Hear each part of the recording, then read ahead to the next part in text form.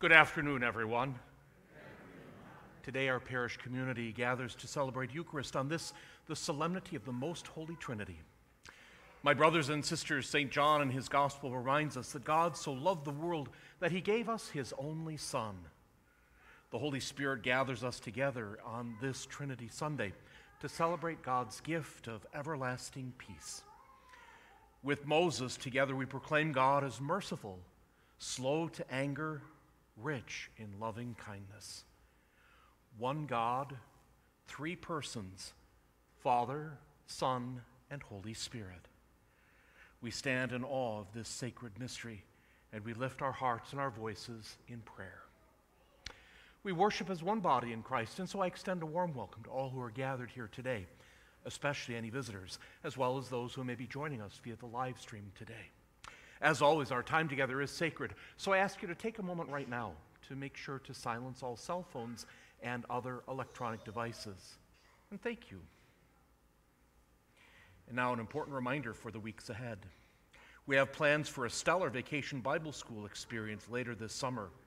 Vacation Bible School is going to take place Monday, July 31st through Thursday, August the 3rd, here at our St. Mary location. We're going to try something a little different for Vacation Bible School this year and have it meet in the early evening. And so we'll gather for dinner at 5:30 with Vacation Bible School happening right after that. More details about our Stellar Vacation Bible School will be in the bulletin and the weeks ahead. And I invite everyone to keep their ears and hearts open for opportunities to volunteer and to become involved as together we learn about the greatness of God in Vacation Bible School. And now, let us stand and share Christ's welcome with one another.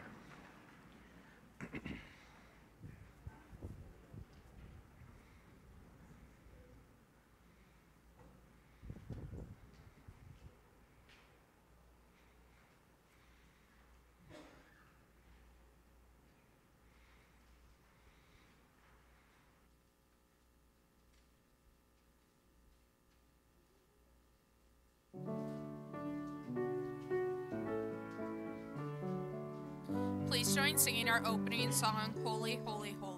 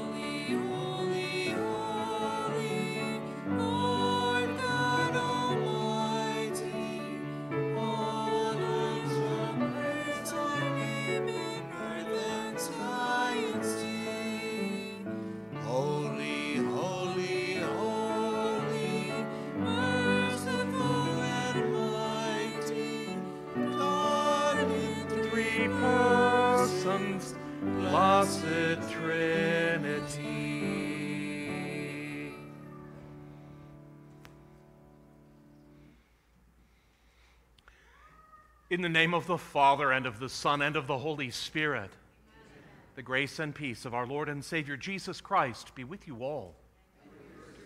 My brothers and sisters, in the first reading, Moses asks the Lord God to pardon the people and to receive them as God's own. Today, we do the same as we call to mind our sin and we ask for the gift of God's mercy.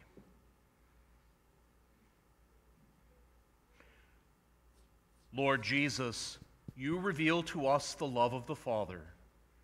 Lord, have mercy.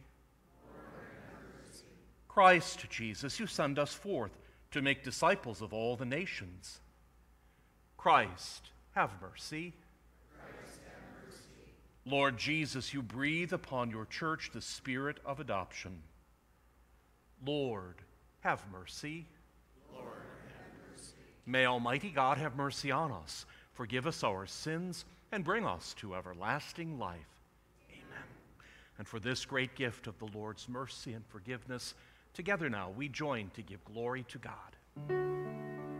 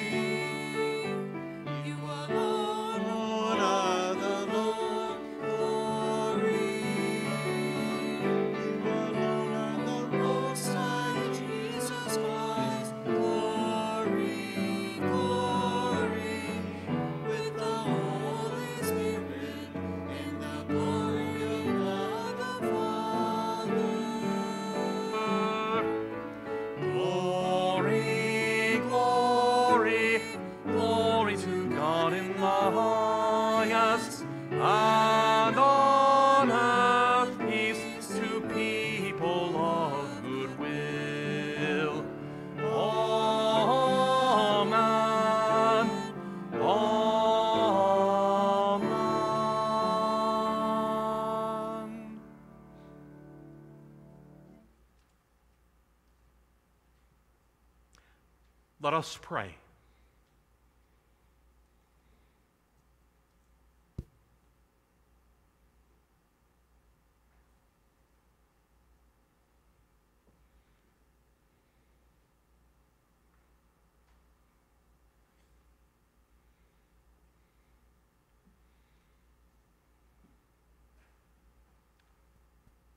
Grant us, O Lord, we pray that the course of our world may be directed by your peaceful rule, and that your church may rejoice untroubled in devotion.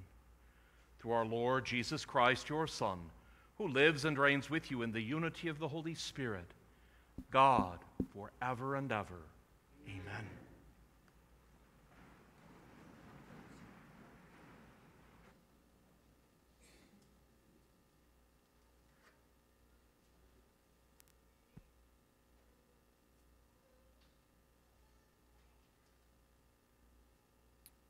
A reading from the book of Exodus.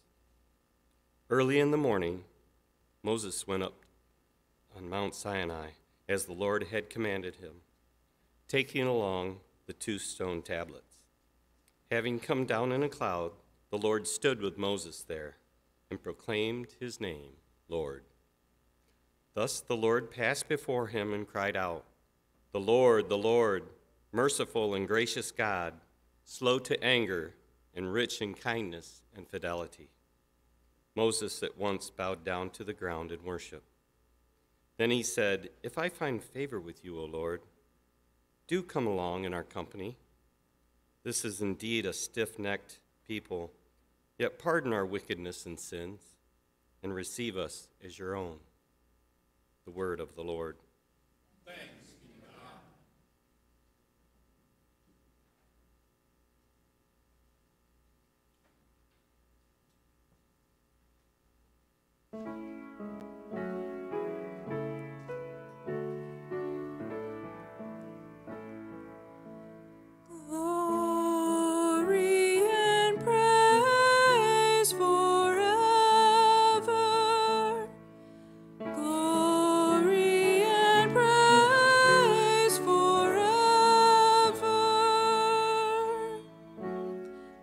blessed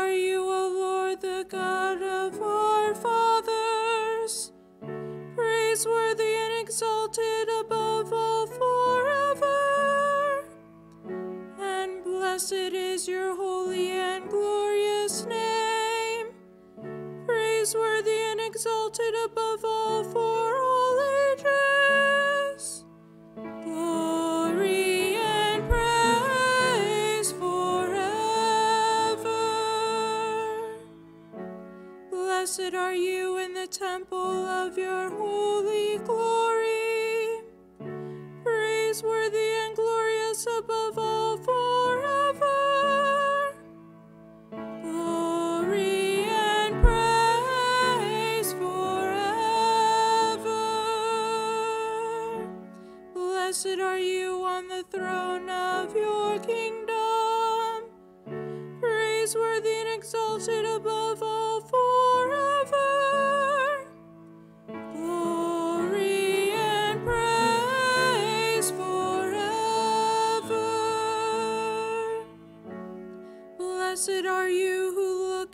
depths from your throne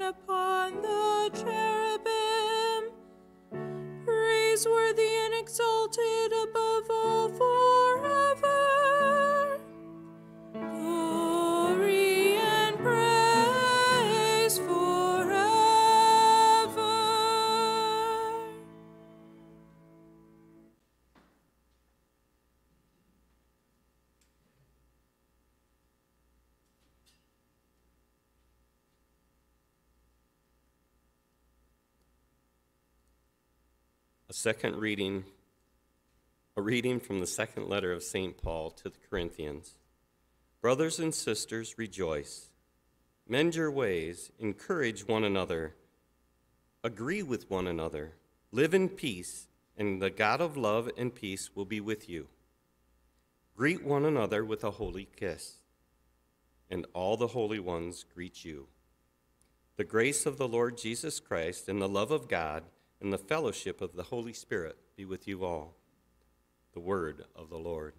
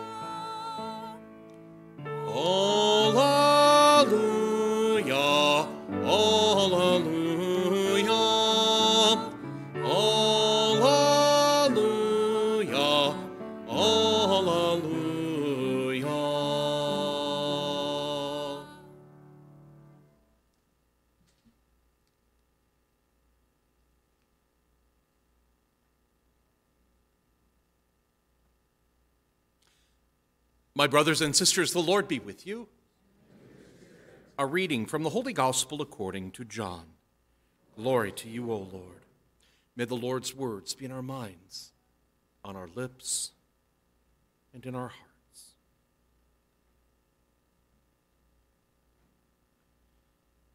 God so loved the world that he gave his only Son, so that everyone who believes in him might not perish but might have eternal life.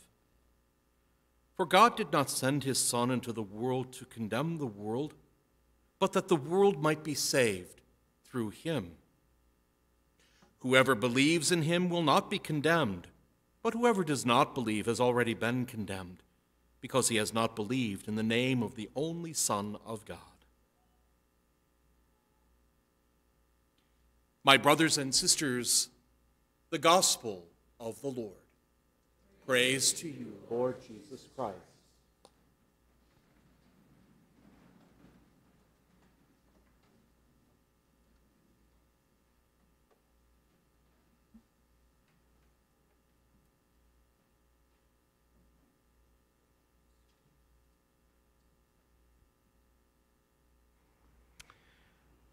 Well, welcome to June.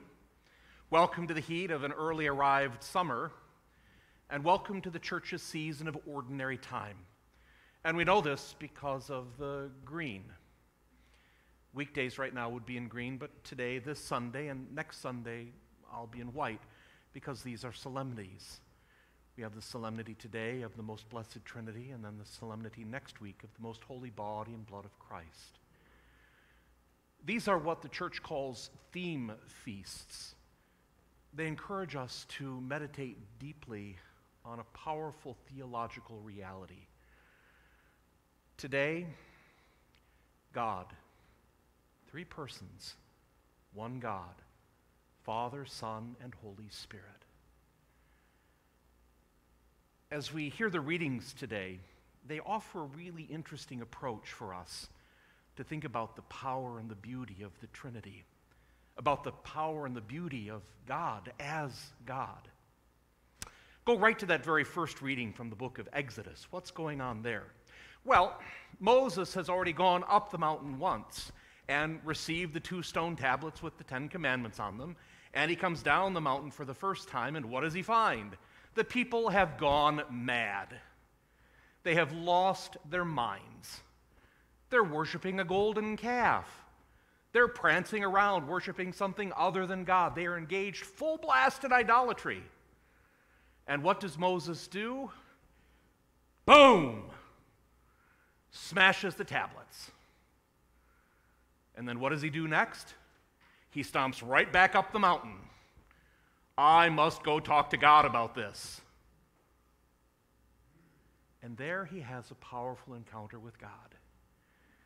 Now, Moses is expecting God to say, You know what, Moses, I think you're right. I will come down off this mountain and I will just smash these pesky Israelites for you, all right?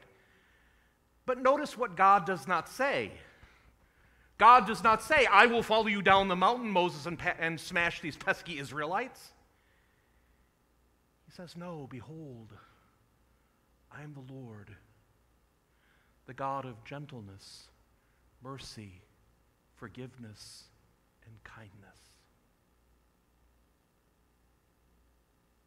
I am the Lord of gentleness, mercy, forgiveness, and kindness.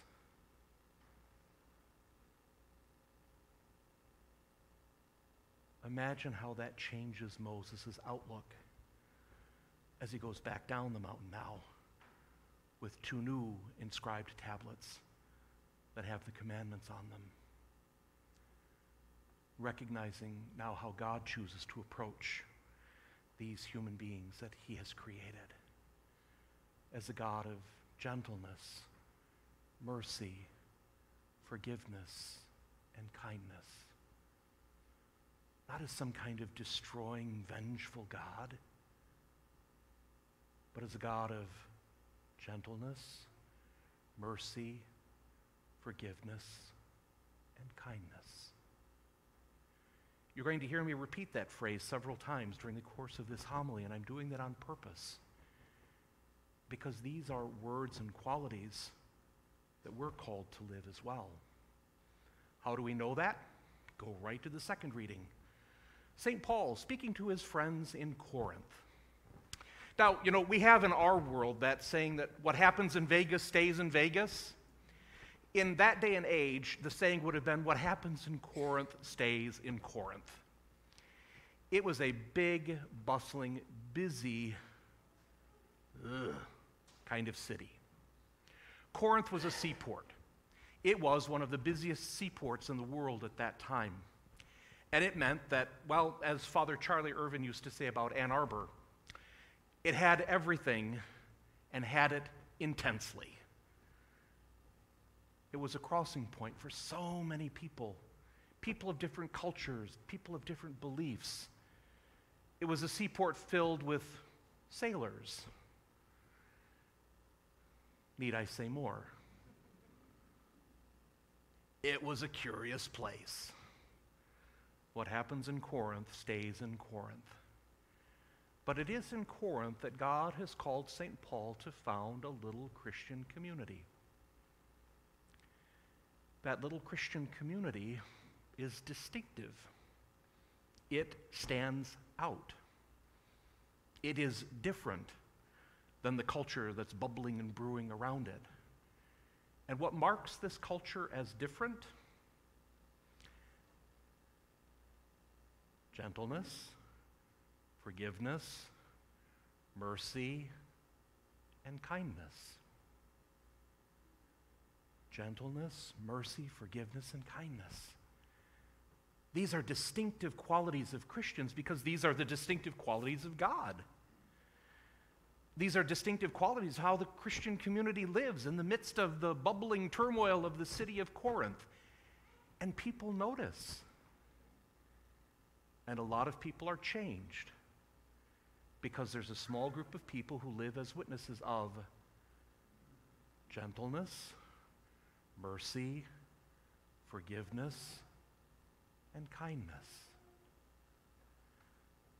St. Paul is writing to them saying, please keep living in these ways. St. Paul recognizes from his own ministry that people will see, people will notice, some will scoff, ha ha ha, look at those silly Christians. But others won't.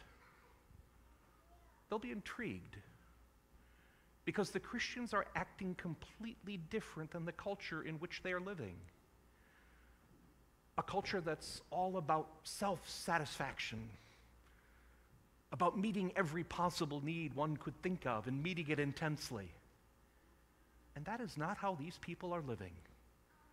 That is, in fact, not how we are called to live. Gentleness mercy, forgiveness, kindness is the hallmark of who they are in this growing little community of Christians in Corinth, that busy, bustling seaport. And what happens in Corinth no longer stays in Corinth. As the Christian community grows, it expands. Because what happens is the people who travel to Corinth travel away from Corinth and they take the Christian message with them to all of the places it's possible to go. This is why God calls St. Paul to found a Christian community in a place like Corinth, because it's the perfect switchboard where a message can be heard, shared, lived, and spread. And what is true for them is true for us. We live as Christians in a world that looks askance at us. Just look at the statistics. more non believers than believers now, more skeptics about mainline religion and faith than followers. There's been a shift in our culture and in our world. How could we possibly change that? Gentleness, mercy, forgiveness, and kindness. What do we see happening in our world even now? Pick the polar opposites of those. And that's what we see. It's what we hear. It's what we're being told by social media. Now, we could throw our hands up in frustration and say, oh, it's hopeless. But that's not the point of this particular feast. The point of this particular feast is that it is filled with hope. If we can emulate the God in whose image we have been created, God Himself who tells us that He is gentleness, mercy, forgiveness, and compassion. Emulating the Son who was sent into the world to live agape, self giving love. Did the world look askance at Jesus? Yeah, I think so. Was the world sometimes not ready to hear what Jesus had to say? Yeah, think so. And what happened because of that? Eh, that. That's what's possible, though, when we choose to live gentleness, mercy, forgiveness, and compassion.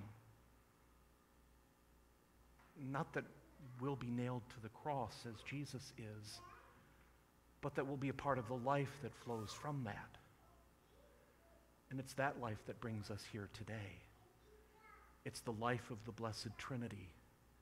It's the life of the God in whose image and likeness we have been made. It's the mark by which we mark ourselves Father, Son, and Holy Spirit. May the Lord's words be in our minds, on our lips, and in our hearts. What does that mean? It means we must image into the world this God, this Trinity. And what are the qualities of God we're called to image in the world?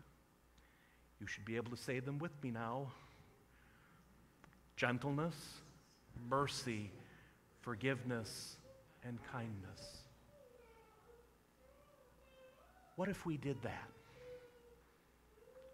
What if we did that? Changed Corinth, changed those people. The image of all of that changed Moses and his approach to his people. The living image of that in Jesus Christ changed the world. Could it not change us and our world?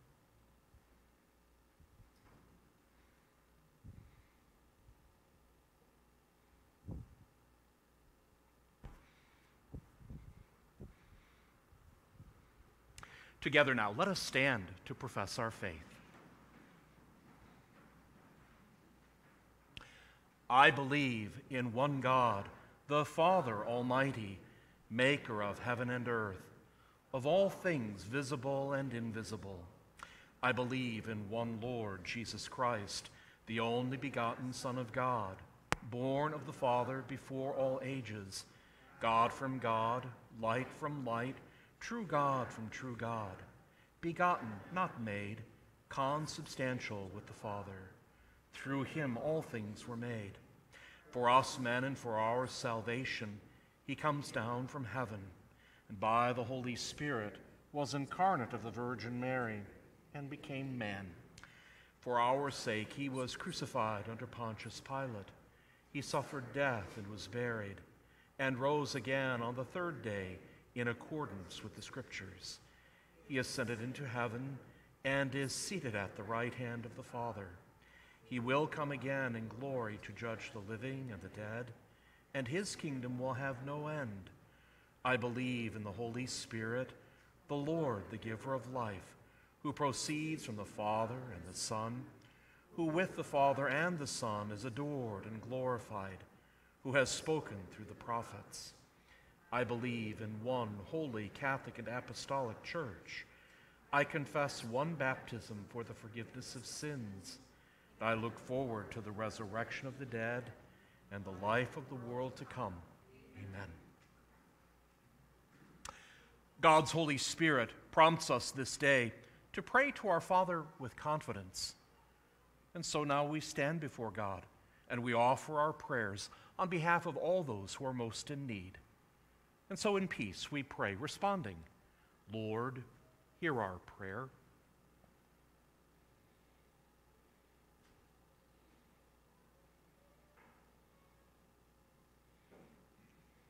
For the church, drawn from all nations and languages, may the Holy Spirit be our guide as we proclaim the goodness and love of God to all people. We pray to the Lord. Lord, hear our prayer. For all in civil power and authority, may the Lord guide their leadership as they strive to bring peace to the world and justice for those in need. We pray to the Lord. Lord, hear our prayer. For all who are enduring trials and challenges in life, may God, in his, his compassionate mercy, remove all burdens and grant them relief. We pray to the Lord. Lord, hear our prayer. For the students and teachers, may they be refreshed and renewed as the school year comes to an end. May they know safety during the summer break. We pray to the Lord. Lord, hear our prayer. For the men and women of Greater Charlotte and Bellevue community who offer their lives for the sake of our safety and protection, may they know safety and peace. We pray to the Lord. Lord, hear our prayer. For the physically, mentally, and emotionally challenged, all those who are burdened by sickness, and all those who care for them, may they have experience of life of Christ within them. We pray to the Lord. Lord, hear our prayer.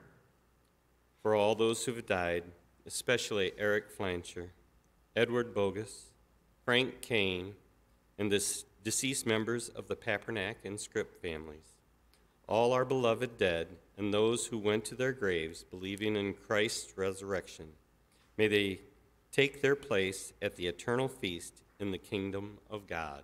We pray to the Lord. Lord, hear our prayer.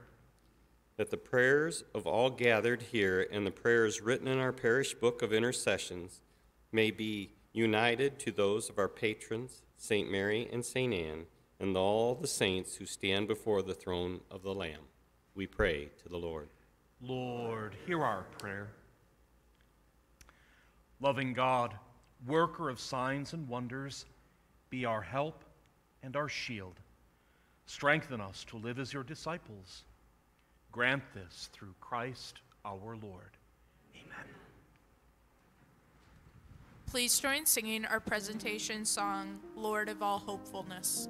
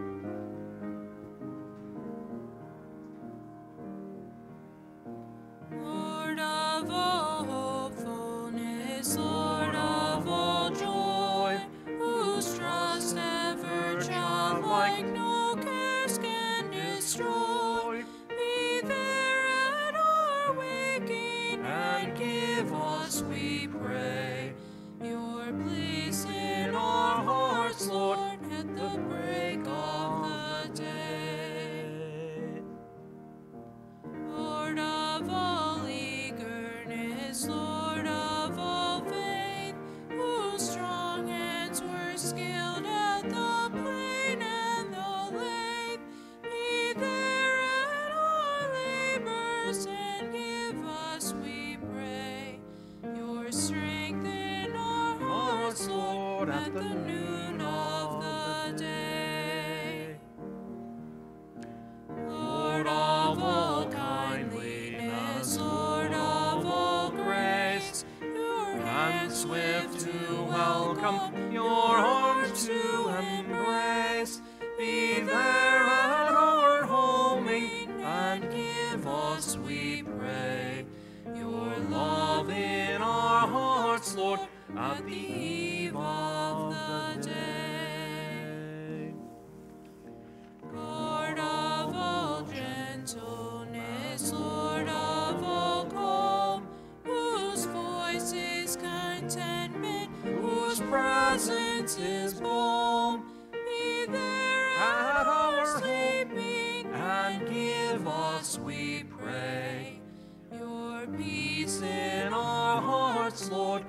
The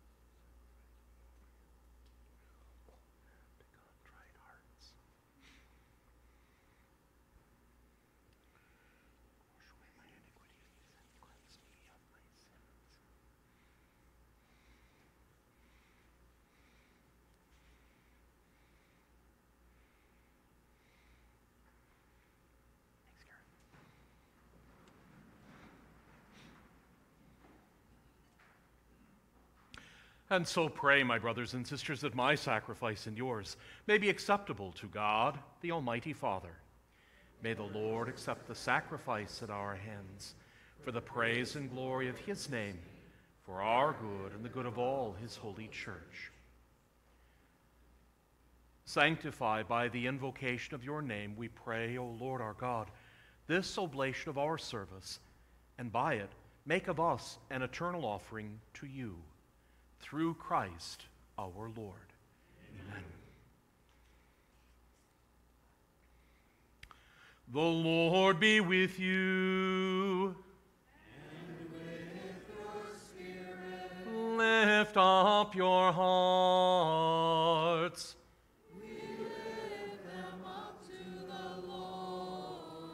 Let us give thanks to the Lord our God.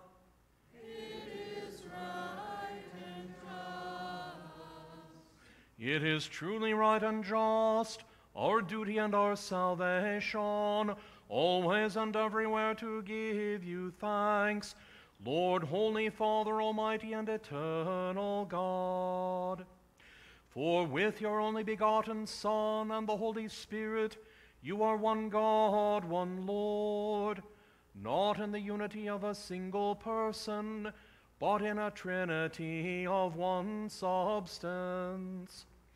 For what you have revealed to us of your glory, we believe equally of your Son and of the Holy Spirit, so that in the confessing of the true and eternal Godhead, you might be adored in what is proper to each person, their unity in substance and their equality in majesty. For this is praised by angels and archangels, cherubim too, and seraphim, who never cease to cry out each day, as with one voice they acclaim.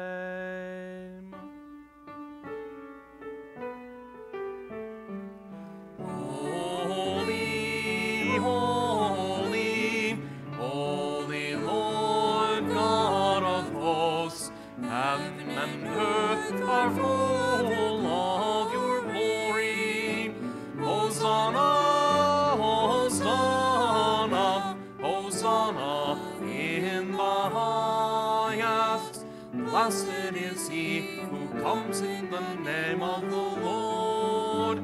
Hosanna,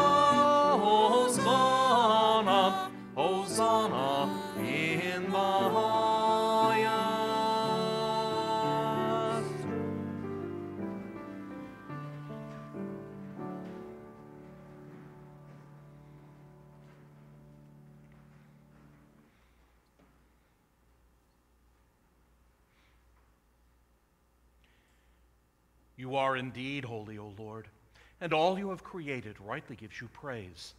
For through your Son, our Lord Jesus Christ, by the power and working of the Holy Spirit, you give life to all things and make them holy.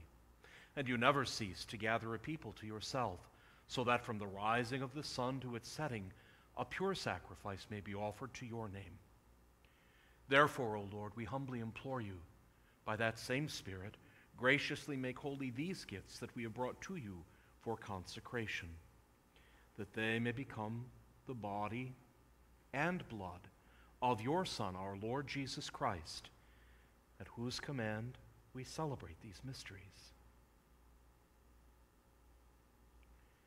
For on the night he was betrayed, he himself took bread, and giving you thanks, he said the blessing, and he broke the bread and gave it to his disciples, saying, Take this, all of you, and eat of it, for this is my body, which will be given up for you.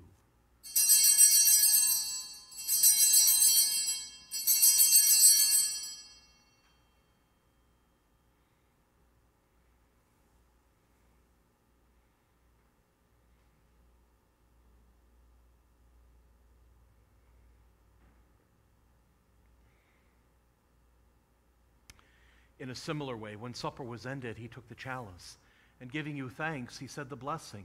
And he gave the chalice to his disciples, saying, Take this, all of you, and drink from it, for this is the chalice of my blood, the blood of the new and eternal covenant, which will be poured out for you and for many for the forgiveness of sins.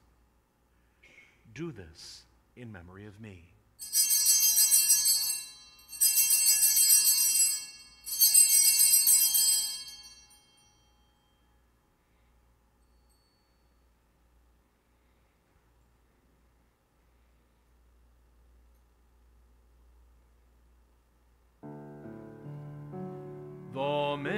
Mystery of faith. Proclaim your death, O Lord. Profess your resurrection until you come again.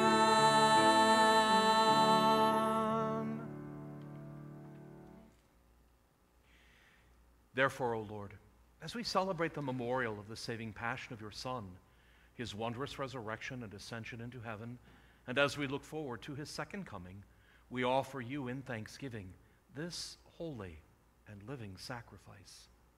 Look, we pray, upon the oblation of your church, and recognizing the sacrificial victim by whose death you will to reconcile us to yourself, grant that we, who are nourished by the body and blood of your Son and filled with his Holy Spirit, may become one body, one spirit in Christ. May he make of us an eternal offering to you, so that we may obtain an inheritance with your elect, especially with the most blessed Virgin Mary, Mother of God, with blessed Joseph, her spouse, with your blessed apostles and glorious martyrs, with Saint Ann and with all the saints, on whose constant intercession in your presence we rely for unfailing help. May this sacrifice of our reconciliation, we pray, O Lord, advance the peace and salvation of all the world. Be pleased to confirm in faith and charity your pilgrim church on earth with your servant, Francis, our Pope, Earl, our Bishop, the order of bishops, all the clergy, and the entire people you have gained for your own. Listen graciously to the prayers of this family whom you have summoned before you. In your compassion, O merciful Father, gather to yourself all your children scattered throughout the world. To our departed brothers and sisters, and to all who were pleasing to you at their passing from this life, give kind admittance to your kingdom.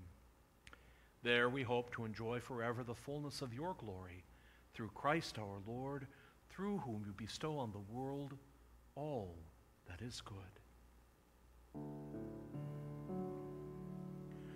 Through him, and with him, and in him, O God, Almighty Father, in the unity of the Holy Spirit, all glory and honor is yours forever and ever. Amen,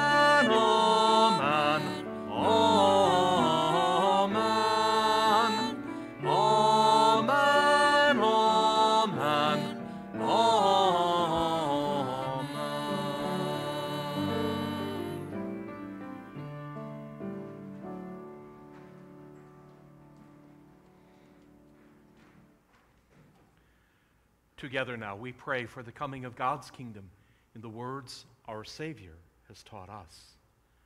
Our Father, who art in heaven, hallowed be thy name.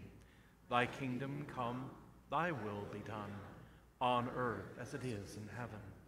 Give us this day our daily bread, and forgive us our trespasses, as we forgive those who trespass against us. And lead us not into temptation, but deliver us from evil.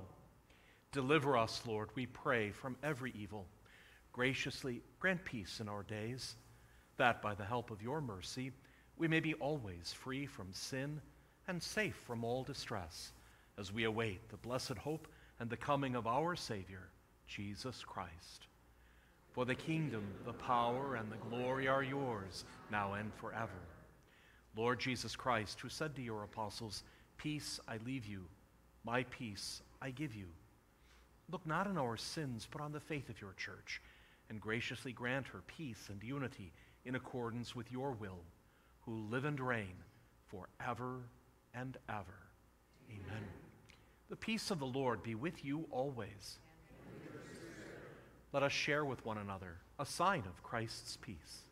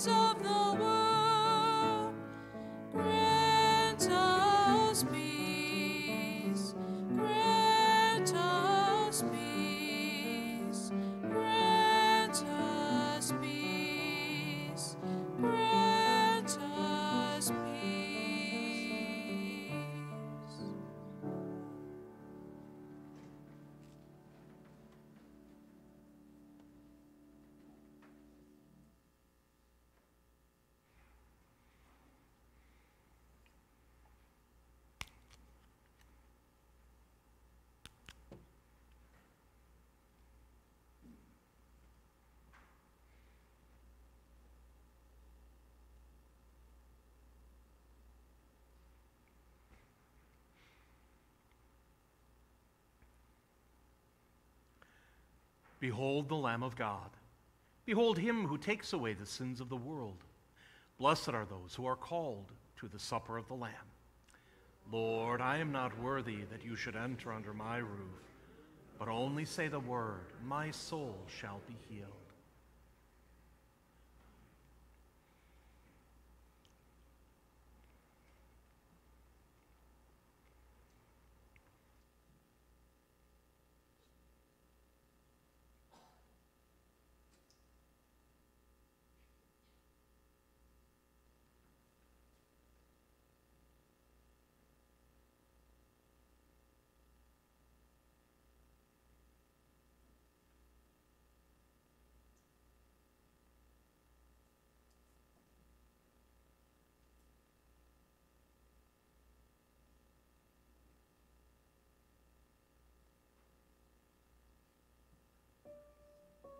Música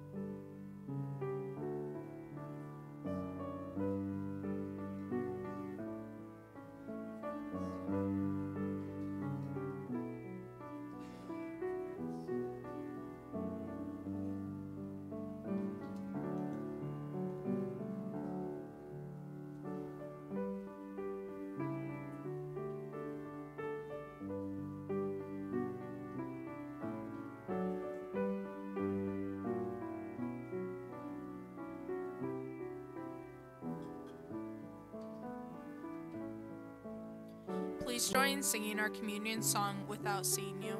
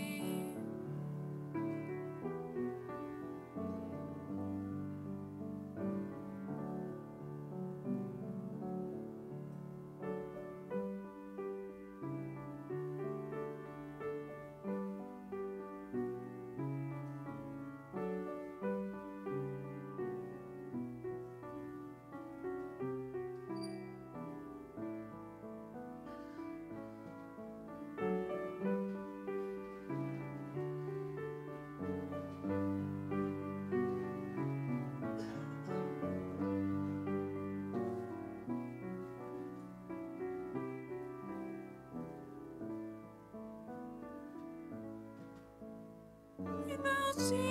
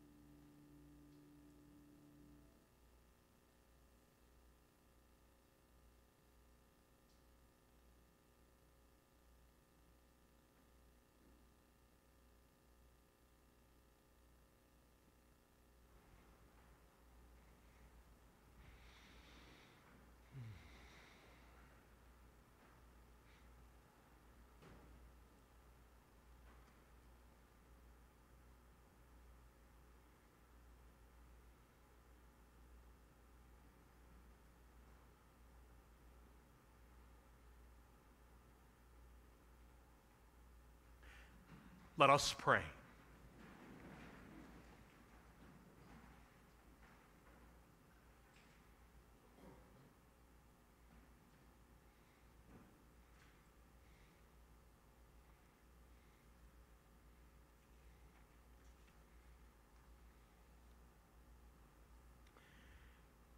May receiving this sacrament, O Lord our God, bring us health of body and soul as we confess your eternal Holy Trinity and undivided unity through Christ our Lord. Amen. As you make your way from church this evening, as always, Missalettes go home with you. Offertory gifts can be placed in any of the three white metal drop boxes located around the church. And thanks for your continued generosity in uh, meeting the financial needs of our parish community. And thanks for your very generous response to this year's DSA. I was looking at the statistics yesterday, and we are now 25% over goal. So we're at about 48, almost $50,000, I think, for uh, pledges and gifts to DSA. So thank you very much for that very generous response. In the year ahead, we're going to be focusing more intently on the gift and the mystery of the Eucharist. As a way of assisting in that, join Bishop Boyer on the road to Emmaus, a weekly opportunity to grow in knowledge and love for the Eucharist. More information about the road to Emmaus can be found in the bulletin. We're in the process of updating the software that manages the parish database of names and addresses and other vital contact and other information that we have for everyone in the parish. And we want to make sure that that information is as up to date as it possibly can be and that it's accurate as well, including information about reception of sacraments. And so we need your help. You may recall the last couple weekends that there were registration forms, basically, contained in all the bulletins. We really need everyone to fill those out as completely as possible and to return them to the parish office so that we can update all of our contact information. Or you can go online and complete that form at the parish website. Uh, thanks then for helping us to keep our parish census as up to date as possible, which in turn helps us to be able to assist you more effectively. Our discussion group for The Chosen will continue this week. We'll meet this Thursday, June the 8th at 7 o'clock in the side rooms of the parish hall here at St. Mary. We'll watch and we'll discuss episode 6 of season 1. And as the saying goes, here in Michigan we have two seasons winter and road construction. Now, this doesn't necessarily apply to this Mass, but I know that we've got people here at this Mass who might be at other Masses during the course of any weekend. And so it's an interesting challenge to get from Charlotte down to Bellevue and back because of the detour um, with those southbound lanes of I 69 being torn out. So for everyone, please be patient, especially if you happen to attend St. Ann at the 9:30 Mass or here at St. Mary for the 11:15 as I make my way there and back. My brothers and sisters, the Lord be with you. May Almighty God bless you the Father, and the Son, and the Holy Spirit. Amen. This Mass is ended. We go in peace to love and to serve the Lord. Thanks, Thanks be to God. Please join singing our closing song, O God Almighty Father.